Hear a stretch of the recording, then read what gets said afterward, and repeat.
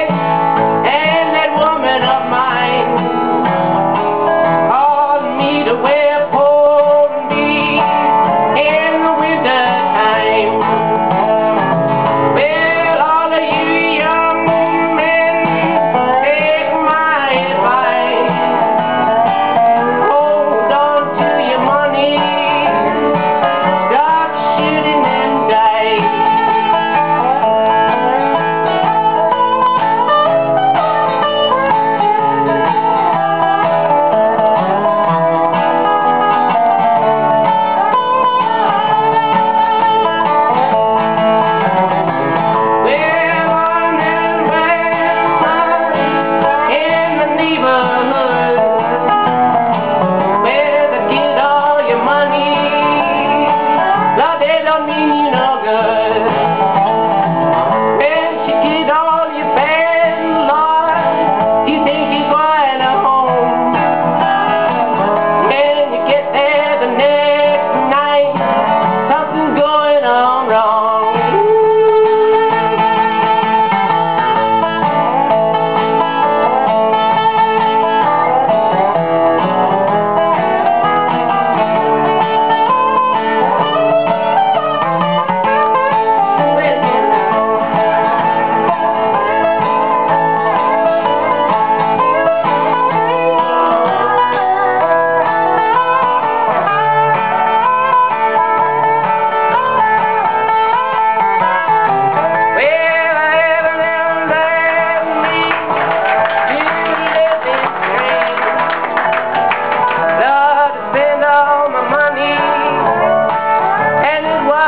in vain.